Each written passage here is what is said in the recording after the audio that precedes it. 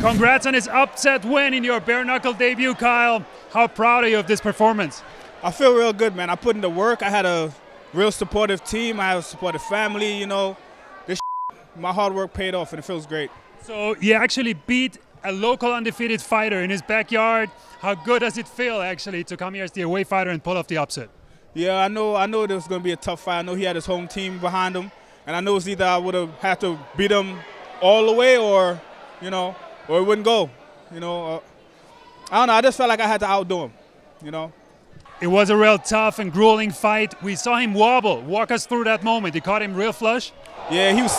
He stepped in. I caught him with a uh, with a left hook, and I saw him wobbling down. And if I had, a, I feel like if I had a couple more seconds, I would have put him to sleep. Now we see you have a problem with your eye. Also, your hand is in the ice. How much did all these things bother you?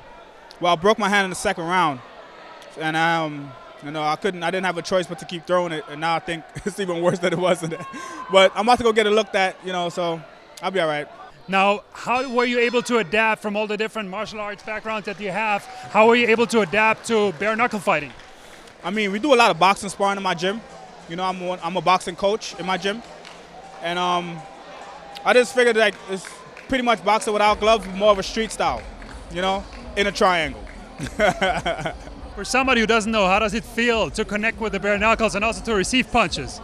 Oh, it sucks. I've, I've had a lot of street fights growing up, and this reminded me of why how rough it used to be. what actually does hurt more, you be getting hit or hitting somebody with bare knuckles? I'll say hitting them. what emphasis did you place in, uh, you know, preparation for this fight? What did you do differently than, let's say, for an MMA fight?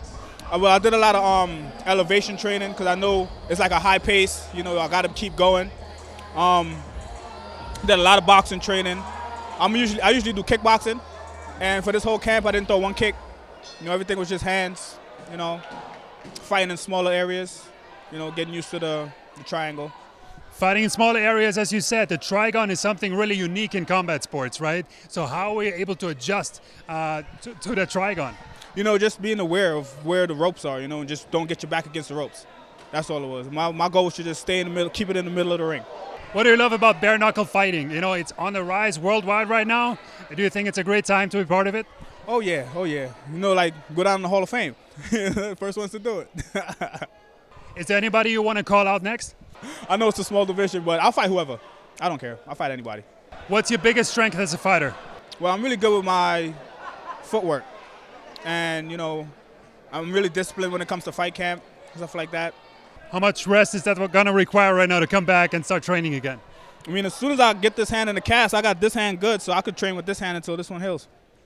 Any sponsors, family you want to thank?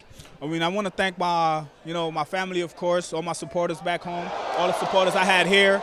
You know, I don't know anyone down here, and I feel like I had a lot of support, and I felt good. I'm Kylle McMillan with Bare Knuckle News. Nobody beats us to the punch.